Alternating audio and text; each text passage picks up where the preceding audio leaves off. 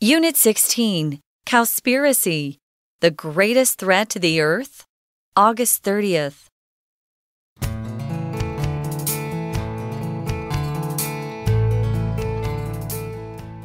Anderson was unable to find much information about the devastation caused by animal agriculture on the websites of many environmental organizations such as Greenpeace.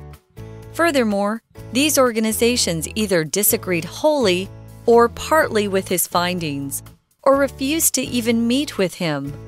This is where the conspiracy part of Cowspiracy becomes clear. Anderson came to believe that the organizations were unwilling to face the problem that was causing more destruction than burning fossil fuels. The documentary suggests that, in part, this is due to the fact that convincing people to recycle or save water is a lot easier than getting them to give up meat.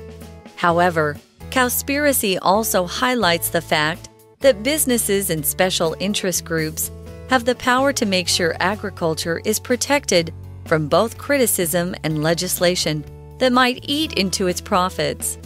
What's more, Anderson learns of environmental activists in Brazil who were killed when they tried to take on the industry. He also loses his financial backer for Cowspiracy, who pulls out because of the film's controversial subject matter. Anderson also explores the concept of backyard farms, which are more environmentally sustainable.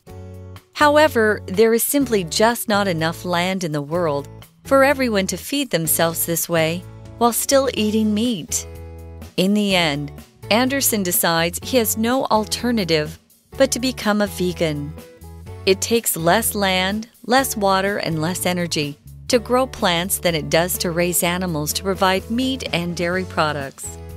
Given the world's rapidly rising population, the documentary suggests that going vegan is the only way we will be able to feed the human race without completely destroying our fragile environment.